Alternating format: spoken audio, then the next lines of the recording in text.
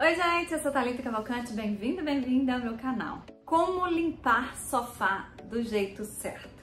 Hoje eu vou te ensinar uma mistura caseira correta, tá? Uma mistura que você pode usar com segurança no seu sofá de tecido. Você vai usar essa mistura caseira certa para limpar sofá.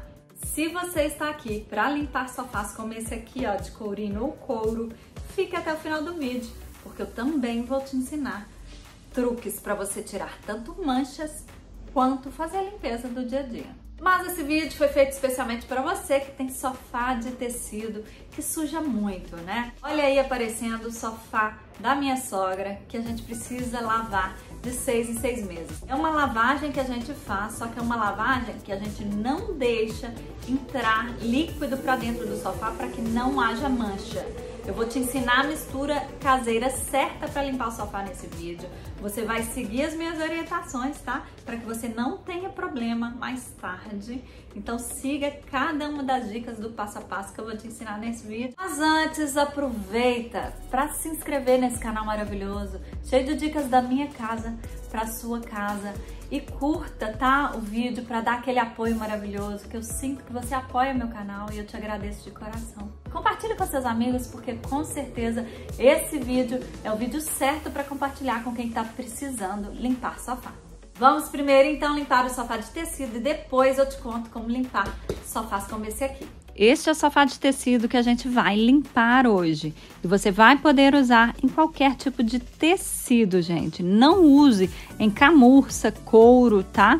Só em tecido. Eu já vou te ensinar a fazer a mistura caseira certa para limpar o sofá. Só que antes da aplicação é necessário aspirar e higienizar o sofá. Eu vou te ensinar o passo a passo salpique bicarbonato de sódio por todo o sofá. Essa é uma recomendação que eu acho que você não deve pular, tá? Porque o bicarbonato é o único capaz de combater um pouquinho que seja os ácaros, né? E para quem tem problema respiratório, por exemplo, gente, isso é essencial ser feito de seis em seis meses, tanto no seu colchão quanto no seu sofá, tá? Essa é a higienização recomendada por especialistas, tá? Biomédicos, especialmente para que a gente consiga combater um pouquinho dos ácaros, desses acúmulos de micro-organismos, tá? Não vai matar tudo, mas ajuda e muito.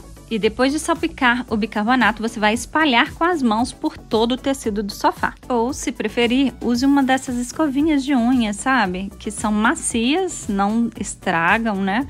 Os tecidos dos sofás e ajuda muito a espalhar direitinho esse bicarbonato.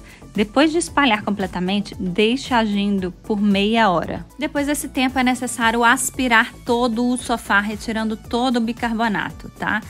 É, olha só, eu tenho esse aspirador maravilhoso que eu recomendo, tem resenha dele aqui no canal, vou deixar o vídeo dele na descrição, ele é dois em um e tem essa ponteira aí, ó, é, para aspirar estofados, tá? E rapidinho você vai aspirar todo o bicarbonato, já dá um efeito de limpeza tremendo. Antes da aplicação da mistura caseira certa para sofá, gente, a gente precisa aspirar todo o sofá, mesmo que não use o bicarbonato. Só que eu te recomendo, gente, bicarbonato de sódio é muito barato e realmente tem um efeito muito saudável para os estofados e colchões da nossa casa. Se você quiser saber como higienizar colchão, vou deixar o vídeo também na descrição, tá? Então, aspire todo o bicarbonato com o seu aspirador de pó, tá deixando esse meu também na descrição para você que se interessou por ele, tá? Verifique, tá? Toda, todo o tecido para ver se nos cantinhos não ficou bicarbonato. E olha só, eu vou começar por manchas no sofá de tecido. Tá vendo que esse braço do sofá tá manchado? Você tem duas opções para aplicar sobre as manchas de sofá de tecido: a espuma de barbear ou a espuma mágica, tá? Eu prefiro a espuma mágica porque realmente é feito para isso. Tem na descrição aqui para vocês. Mas quando você não tiver em casa e tiver uma espuma de barbear de qualidade, use a espuma de barbear. E tudo que você tem que fazer para tirar uma mancha num tecido do sofá é esfregar com uma escovinha macia. Você tá vendo que eu estou usando a mesma escovinha de unha que eu espalhei o bicarbonato. Esfregue até a mancha sair e retire o excesso do produto com pano, tá? E agora, gente, vamos lá, que eu vou te ensinar a fazer a mistura caseira certa para limpar sofá. Eu usei três vezes essa receita que eu vou passar para vocês para limpar o sofá todo.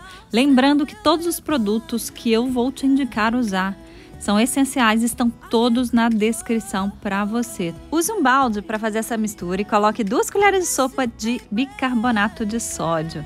Depois, coloque duas colheres de sopa de amaciante para roupas delicadas, tá? Tecidos delicados é o que eu te recomendo. Use meia xícara de lisoforme desse branco, tá? Que é o suave. E uma xícara inteira de vinagre de álcool.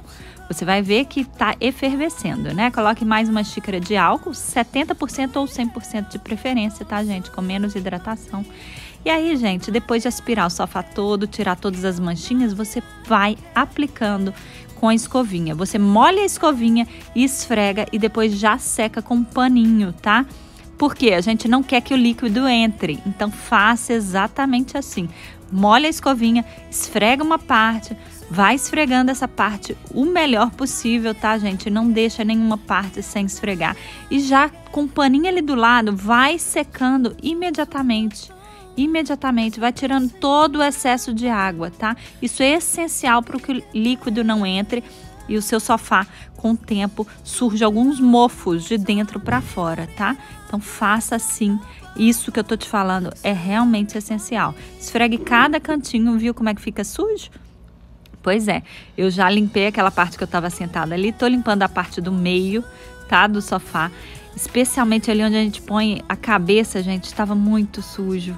E aí, faz exatamente isso com o paninho secando, não deixa nenhum líquido entrar. Se você usar essa escovinha de unha, tem essa escovinha na descrição para você, ela é baratinha, vai ser ótimo, tá? Para o seu sofá. Olha a diferença da parte suja para a parte limpa. Depois, no final, vou te mostrar o sofá já seco no dia seguinte, tá? E aí está o resultado do sofá todo limpo, agora totalmente limpo. Olha a diferença, gente. Você que viu o sofá anteriormente, ele estava amarronzado, bege quase, ele é dessa cor cinza bonita. Nossa, ficou maravilhoso. E uma coisa que eu devo salientar: não esqueça os panos limpos para você ir enxugando e tirando a sujeira ao mesmo tempo. Sai muita sujeira do sofá nos panos, tá? Isso é o chamado lavagem a seco, tá? Olha o antes, como tava muito sujo. E agora vejo depois, gente, com o sofá no dia seguinte já seco. Maravilhoso. Agora eu vou te ensinar a tirar manchas e a limpar sofás de courino e de couro no dia a dia. Pode ser courino ou couro, claro ou escuro. Vamos lá. Meu sofá era de tecido. Quando eu me casei, há quase 15 anos atrás, ele era de tecido e a gente fazia limpeza, como eu te mostrei aí, né? A limpeza do sofá da minha sogra, eu fazia exatamente aquilo quando esse aqui era de tecido. Mas para trazer mais praticidade para minha vida, eu e meu marido trocamos, né, o estofado de tecido pelo de courino. Para tirar manchas, gente, desse sofá aqui, você precisa de dois produtos: ou detergente ou esponja mágica, tá?